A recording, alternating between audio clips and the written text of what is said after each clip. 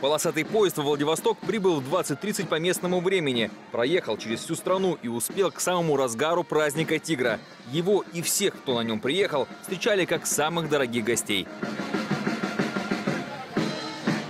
Но простоял в краевой столице «Тигропоезд» только ночь. Утром полосатый засобирался обратно в Москву, а вместе с ним и гости города. Борис Трифонов на экологическом рейсе только до Иркутска, потом на другом в Челябинск. Но рад, что домой после месяца путешествий по Дальнему Востоку возвращается именно на нем. Я еще внутри не был пока, но внешне симпатично смотрится. Главное, чтобы внутри не съели ни тигры, ни леопарды. Вот так вот. Нужное ли дело это? Нужно, конечно, защитим тигра и леопарда.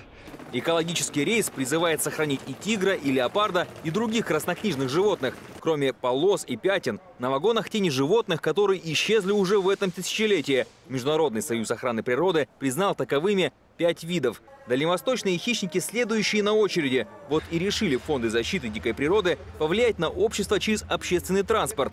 Уже месяц в небе курсирует полосатый самолет, а теперь хорошему делу на земле будет служить и экологический состав. Люди должны поддерживать и понимать, что действительно два хищника у нас э, э, подходят к делу вымирания, но для этого люди должны сохранять нашу природу, нашу достопримечательность.